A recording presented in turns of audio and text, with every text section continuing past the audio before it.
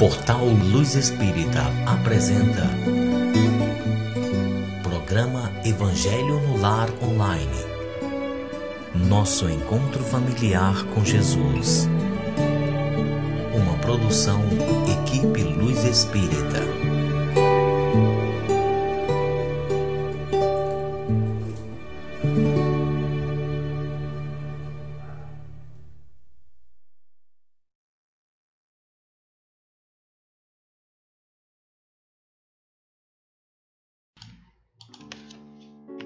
Boa noite, boa noite pessoal. Uma ótima noite a todos vocês. Estamos iniciando mais um Evangelho no Lar. Eu quero dizer que é um prazer enorme a gente transmitir este programa, tendo a certeza que a gente tem a ajuda da espiritualidade, que a gente tem a companhia de vocês. Eu sou a Janete, como vocês já sabem, estou aqui com o Júnior e juntos então nós vamos fazer o Evangelho no Lar. A gente gostaria muito de agradecer a companhia de todos vocês, as mensagens que chegam eh, de vocês né, através do YouTube. É muito importante para a gente eh, esse retorno, é muito gratificante. É, o carinho de vocês é muito grande com a gente e isso nos faz ter mais vontade ainda de continuar. Então agradecemos muito e agradecemos também aos nossos mentores espirituais. Bom, gente, como vocês já sabem, mas eu vou falar mais uma vez como é feito o Evangelho. É recomendado então que o Evangelho seja realizado uma vez na semana, sempre no mesmo horário, em família ou individualmente. O importante, gente, é consagrar um momento, uma união com o plano espiritual, para que tenha harmonização no lar e para a gente adquirir o equilíbrio espiritual também. Pedimos que tenham junto aos computadores uma garrafa ou uma vasilha ou um copo de água, como vocês preferirem, porque essa água depois vai ser fluída pelos bons espíritos. Então, vamos acalmando nossos corações, vamos serenando nossas mentes, vamos esquecer nossos problemas do dia, vamos entrar em sintonia com a espiritualidade. Pedimos Bom, então que seja um evangelho de muito amor e de muita harmonia. Houve um encontro agora eu e da Janete aqui. Bom, pessoal, vamos fazer uma listinha agora das nossas dificuldades né? e vamos deixar de lado essa listinha das nossas dificuldades. Nós vamos já pensando nela, mas ela vai ficar de lado, tá? Porque dificuldades todos nós temos, problemas todos nós temos e teremos outros diferentes, serão semelhantes, mas não vão ser iguais. Já tivemos problemas no passado. Essas situações que existem fazem parte do nosso dia a dia para muitas pessoas é como matar um leão por dia, né? Tem um ditado que é mais ou menos assim. Então, para algumas pessoas que têm problemas graves, elas têm que conter crises de ansiedade, elas têm que conter a depressão, tentando animar de tudo que é jeito a sua vida alguns conter o alcoolismo, né? evitar de todas as formas possíveis e vícios como cigarro e outras coisas mais né? que, que podem nos deixar perturbados. Então, problemas todos nós temos, né? pedidos todos nós também temos. Muitas vezes a gente quer colocar os pedidos como se fosse uma ênfase em nossa vida, né, como se fosse um objetivo a alcançar.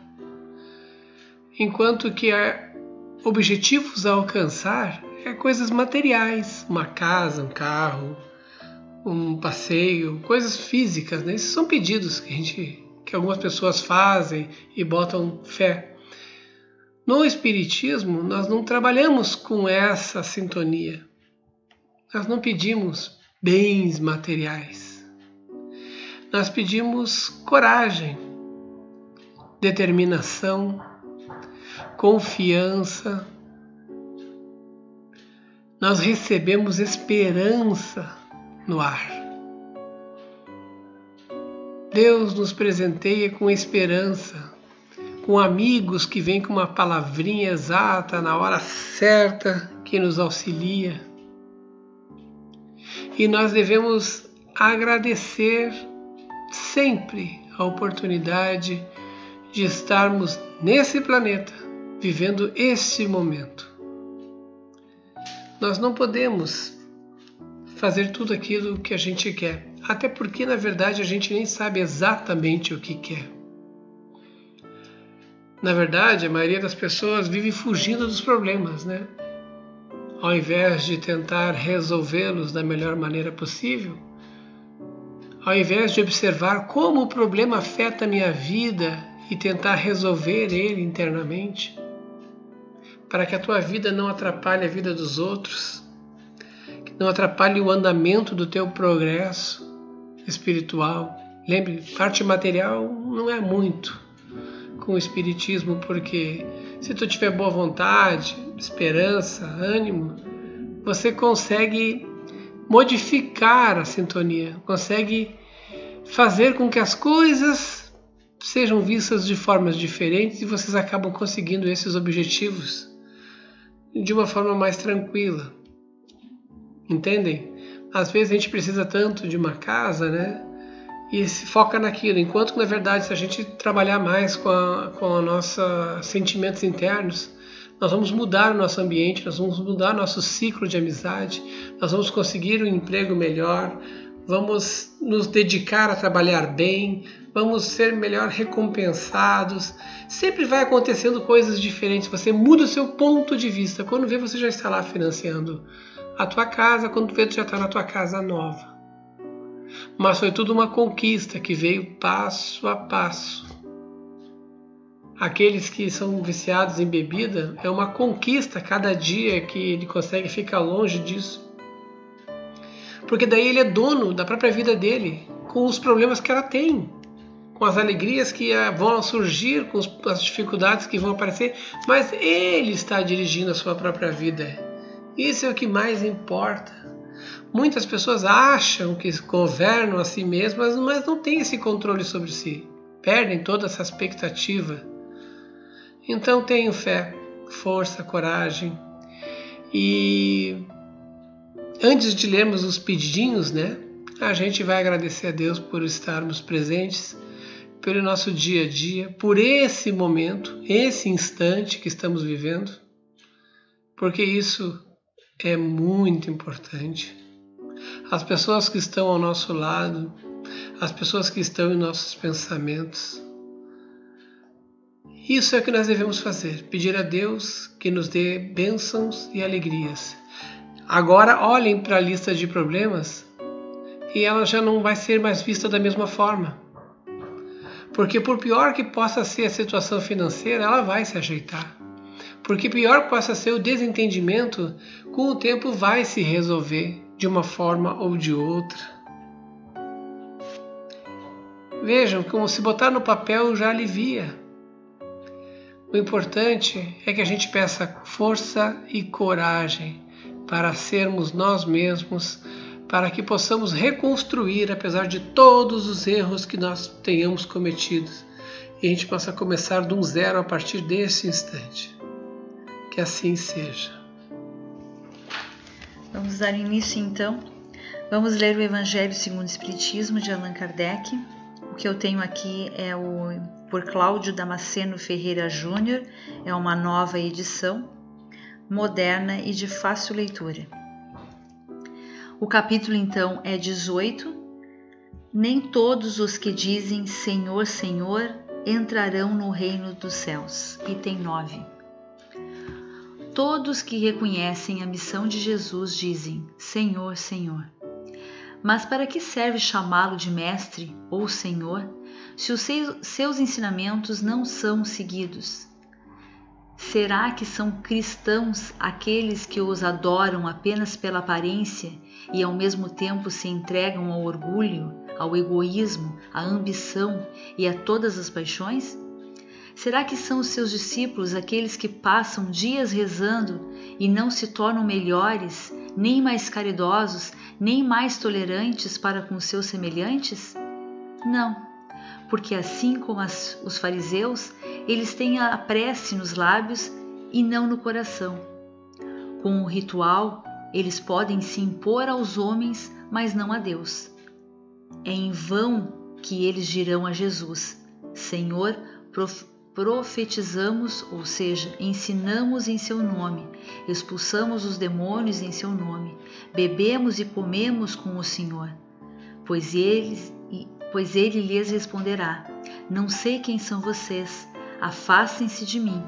Todos vocês que cometem atos de injustiça, que desmentem suas palavras com suas ações, que caluniam o próximo, que despojam as viúvas e cometem adultério, afastem-se de mim.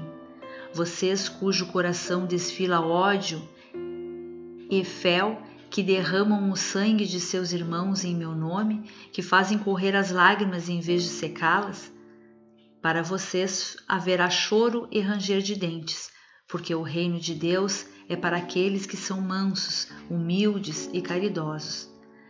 Não esperem enganar a justiça do Senhor pela quantidade de palavras que dizem ao rezar e pelo número de vezes que se joelham. O único meio para alcançar a graça perante Ele é a prática sincera da lei do amor e da caridade. As palavras de Jesus são eternas porque representam a verdade. Elas garantem a passagem para a vida celeste, como também garantem a paz, a tranquilidade e a estabilidade para os homens durante a vida terrena.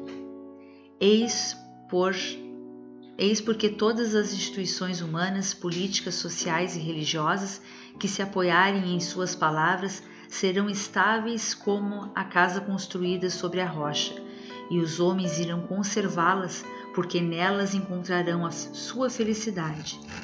Porém, aquelas instituições que violarem a palavra de Jesus serão como a casa construída sobre areia, onde o vento das transformações e o rio do progresso irão arrastá-las.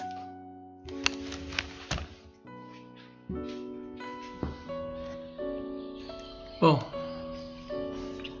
eu vou começar a falar por uma frasezinha do texto final o único meio, palavras de Jesus, né? o único meio para alcançar a graça perante Ele, perante Deus, né? é a prática sincera da lei do amor e da caridade. Olha, isso tudo já resolve muita coisa. Prática sincera do amor, da lei do amor e da caridade. Tem muitas pessoas que realmente é, se mostram para os outros como seguidores de Jesus em exemplo, mas que não fazem o que Jesus faria. Isso é interessante, né? Nós poderíamos debater política, poderíamos debater física, biologia, qualquer questão.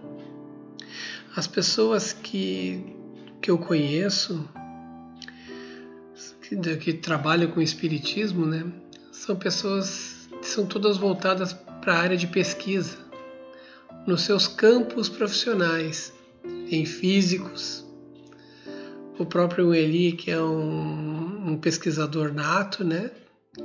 entre outros que são pesquisadores das suas áreas de trabalho profissional e que quando se reúnem em torno do espiritismo, eles usam todo o seu conhecimento e para eles é como se isso fosse o dia a dia deles normal. Por exemplo, o físico ele vê as leis da física para aplicar na mecânica, na elétrica, em várias áreas, né? E quando ele vai trabalhar com o espiritismo, com essa ciência espírita, ele acha que tudo ali está expresso, onde ele pode aplicar todos os seus conhecimentos. A ciência, ela aborda o espiritismo desde muito, desde muito antes de Kardec, né? Ela vai lá e tenta pesquisar. Kardec apenas é, coordenou e codificou as mensagens espíritas com, com é, apenas agora foi até ridículo, né?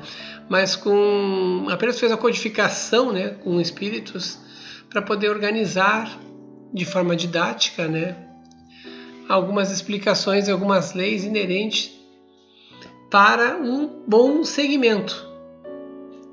Inclusive, quando perguntavam para ele qualquer questão espírita, ele indicava a leitura de outros livros para que as pessoas pudessem se orientar e ver qual a melhor opção para sua vida. Entenderam? Vocês têm que analisar sempre qual é as suas opções para a vida. É muito fácil não querer saber de nada e seguir por aí é, cometendo coisas que, mesmo que você não fosse uma pessoa religiosa, se sentiria até triste por ter realizado. Tá?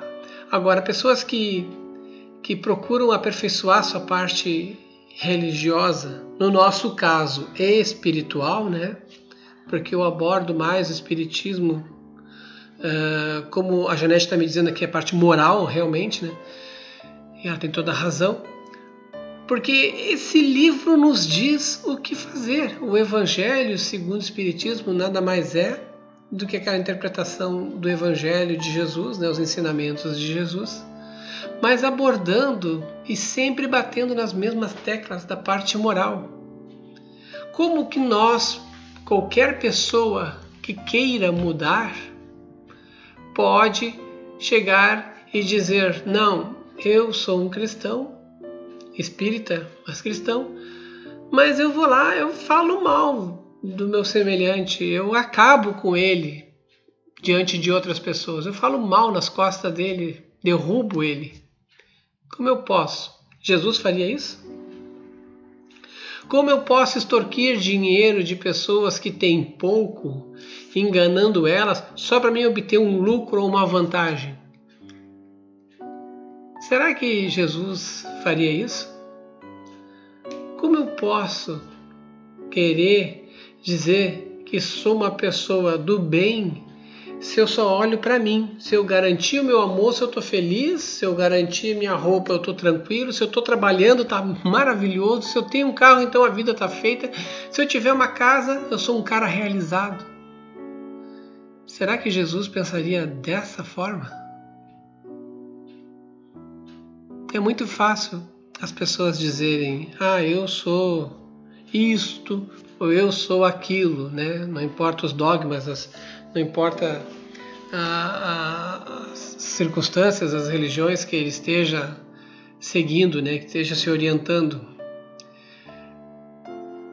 De qualquer forma, se você não praticar o bem ou a lei moral, que nem aquele textozinho que eu comecei lendo, aquela frasezinha final, você não praticar a lei moral, a lei de caridade, você não é um seguidor de Cristo. Ele mesmo disse: Nós devemos viver como os homens dos nossos tempos. Ninguém aqui é para ficar fanatizado. Não, agora não vou fazer mais nada, eu só vou mergulhar nisso e naquilo. Não, pelo contrário. Jesus não diz isso em momento algum. Tá? Ele diz o contrário. Faça. Quando as pessoas vinham pedir milagres para ele e ele concedia um milagre, né, que ele podia conceder, ele concedia um milagre, o que, que ele dizia para as pessoas? Tua fé te salvou. Ele não está dizendo que por tu me seguir, por tu, não. Ele dizia: tua fé me salvou, a tua, tua. Não a minha fé, não o meu poder, a tua fé te salvou. É isso que vocês têm que acreditar em vocês. Cada um tem que acreditar em si. Vocês podem atingir objetivos é, sublimes como pessoas, como profissionais, se vocês forem os melhores. O que é ser o melhor? Não é passar a perna no outro, não é puxar o, o tapete do seguinte, não é ficar bajulando os chefes, não. Ser o melhor é fazer exatamente bem aquilo que faz, com vontade, com carinho, com cuidado. Seguir uma linha de raciocínio, de pensamento, não ficar querendo só lucro, só vantagens, só chamar atenção. Não, vou fazer meu serviço direitinho. E você já consegue muitas coisas com isso.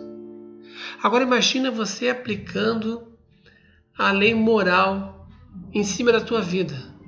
Você sendo uma pessoa boa para as outras. Uma pessoa que é caridosa, que escuta o próximo. Já pensaram nisso? Isso muda tudo, muda toda a história quando você para para ouvir o teu semelhante. Você está vivendo o seu tempo à sua maneira, não está impondo ele, não, isso é o certo, ó, ser espírito é o certo.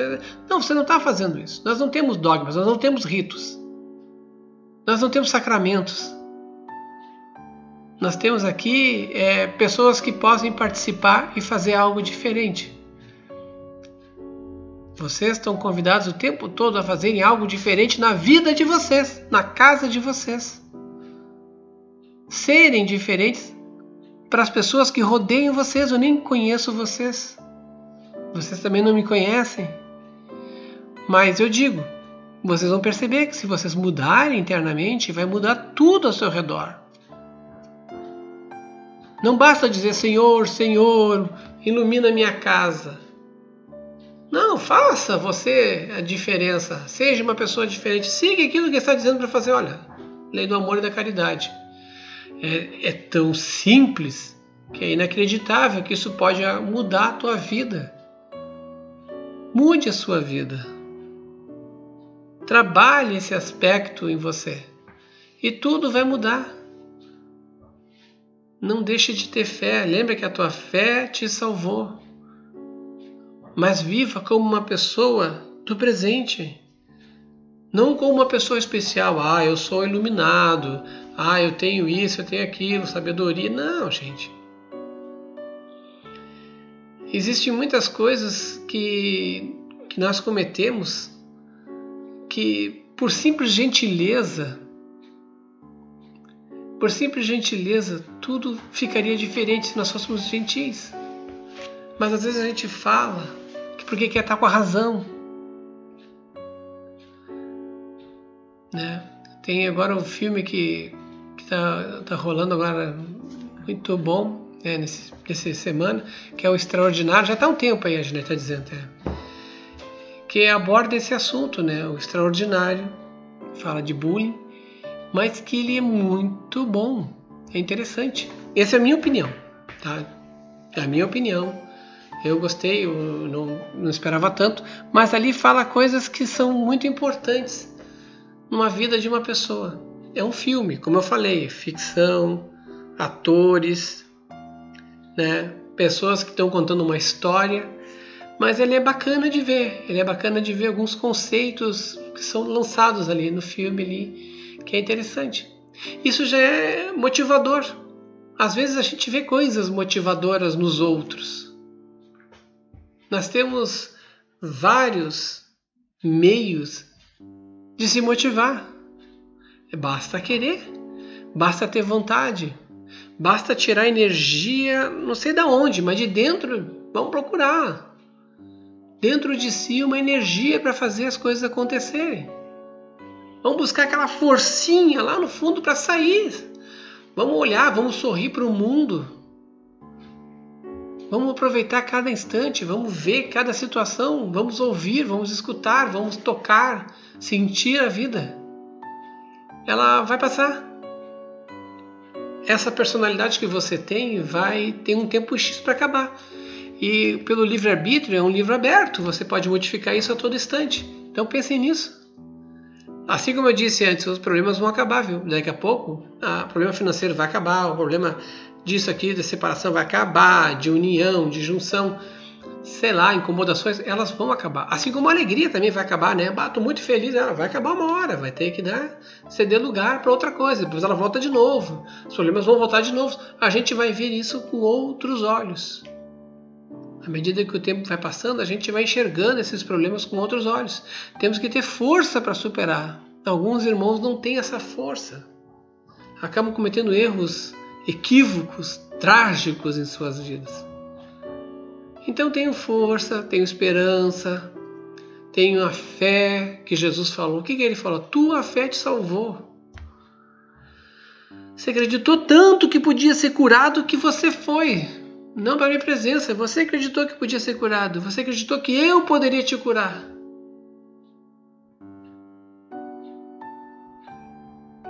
E é o que eu digo, Jesus, né? Então, coloquem isso na mente de vocês. Não basta dizer apenas: Oh meu Deus, oh Jesus, por que está acontecendo isso comigo? Eu que gosto de ti. O que, que adianta gostar? Ele deu um exemplo, ele, não, ele simplesmente não chegou e te botou o dedo assim, faça isso, não. Perdoem. É, você tem que perdoar, perdoem. É, tenho fé. É você. É você que está me ouvindo aí que tem que fazer as coisas serem diferentes. É você que tem que tomar a iniciativa de fazer as coisas diferentes. Com isso eu encerro meu comentário. Vamos pedir agora para os nossos bons amigos, os espíritos superiores, que possam fluir as águas dos senhores, aonde os senhores estiverem, no dia que os senhores estiverem fazendo tá, o Evangelho, que ela seja fluída nesse momento que vocês estão ouvindo isso. Senhor, pedimos agora que os bons espíritos entrem em nossos lares que as nossas casas sejam limpas e purificadas. Se houver entre nós espíritos inferiores, que eles sejam auxiliados e levados para os seus lugares de merecimento. Que as nossas casas se encham de amor, de harmonia e que nelas a gente encontre a nossa fortaleza, a gente se sinta bem dentro dela pedimos auxílio ao plano espiritual para a corrente amiga do Dr. Bezerra de Menezes, para a fluidificação das águas, que nelas eles depositem todo o amor e as curas para os nossos males. Vamos à oração de Bezerra de Menezes. Nós te rogamos, Pai de infinita bondade e justiça, o auxílio de Jesus através de Bezerra de Menezes e suas legiões de companheiros. Que eles nos assistam, Senhor, consolando os aflitos, curando aqueles que se tornarem merecedores, confortando aqueles que tiverem suas provas e expiações a passar, esclarecendo os que desejam conhecer a verdade e assistindo todos quanto apelam ao teu infinito amor.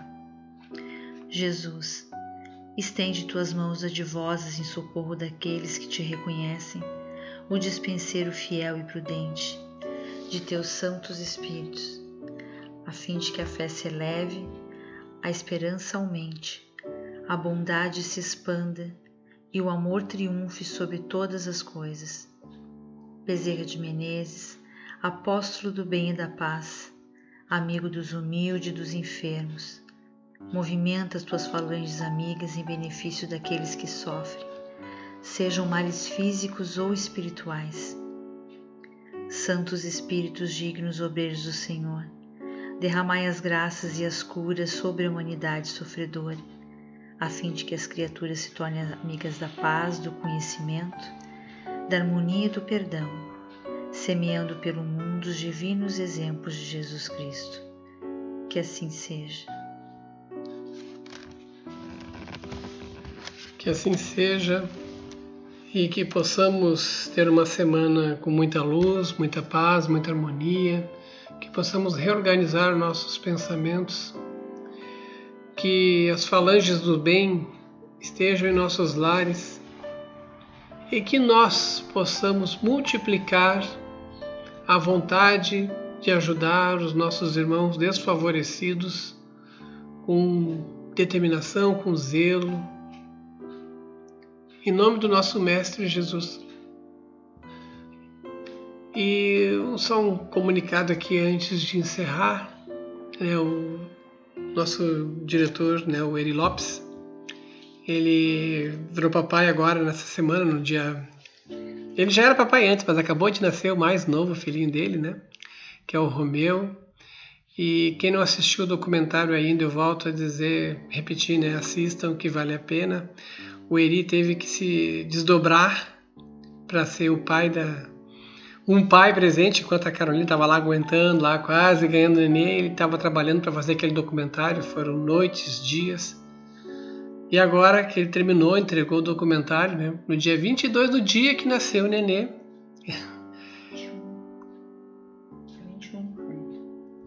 E dia 21 foi o lançamento né, do, do, documentário.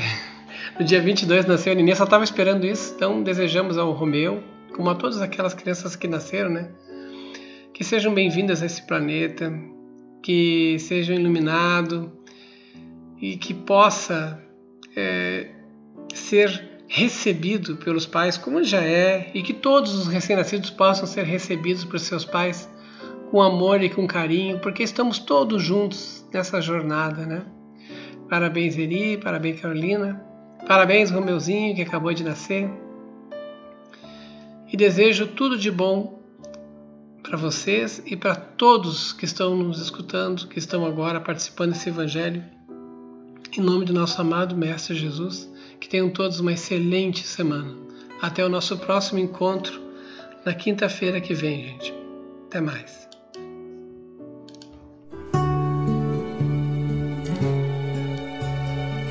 Luz Espírita apresentou programa Evangelho no Lar Online. Nosso encontro familiar com Jesus.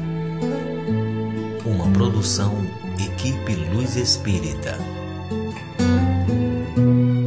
www.luzespírita.org.br